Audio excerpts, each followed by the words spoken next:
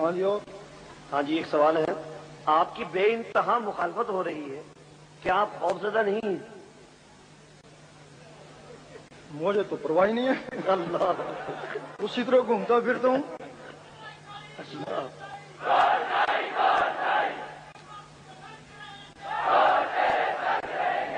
उसकी वजह है मुझे तो ना पैसे की ज़रूरत है अल्लाह ताला ने काफ़ी कुछ दिया हुआ है, जमीने हैं। मुझे किसी की मुखालफत सहने की भी ज़रूरत नहीं।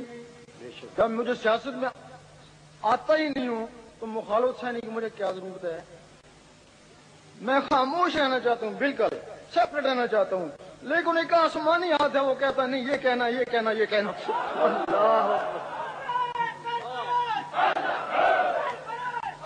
और मेरा ईमान है जिनका मुझे हुक्म है वो सब पे गालब हैं।